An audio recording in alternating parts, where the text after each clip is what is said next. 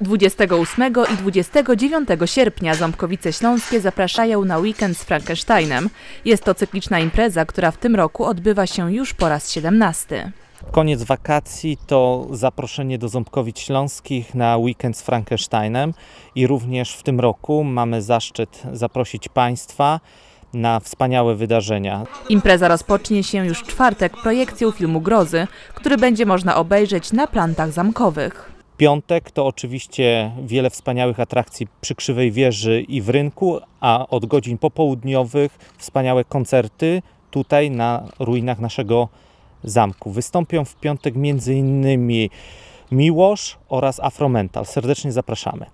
Sobota to po południu parada potworów. Zapraszamy wszystkich na rynek. O godzinie 17 ruszy parada potworów po Ząbkowicach i przejdzie na planty zamkowe. O 18 rozpoczną się koncerty i będziemy mogli wtedy usłyszeć m.in.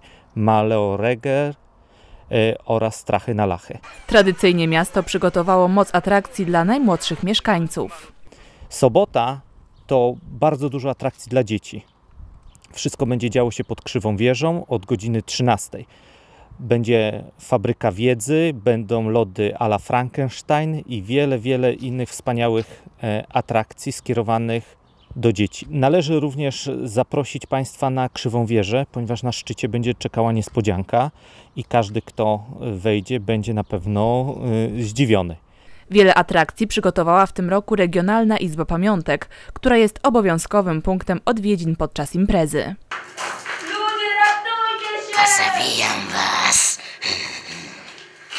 Ważną atrakcją, którą nie można zobaczyć nigdzie, to jest sala grabarzy i śladami Frankensteina, historia Ząbkowic z 1606 roku. Myślę, że każdy, kto będzie przebywał w Ząbkowicach w czasie tych dni weekendu z Frankensteinem, ale również w każdym innym terminie, powinien to zobaczyć przy ulicy Krzywej. Myślę, że to będzie kilka wspaniałych dni w Ząbkowicach dla gości i dla mieszkańców Ząbkowic Śląskich.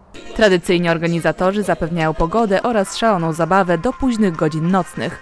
Gorąco zapraszamy w ostatni weekend sierpnia do strasznie pięknych Ząbkowic Śląskich.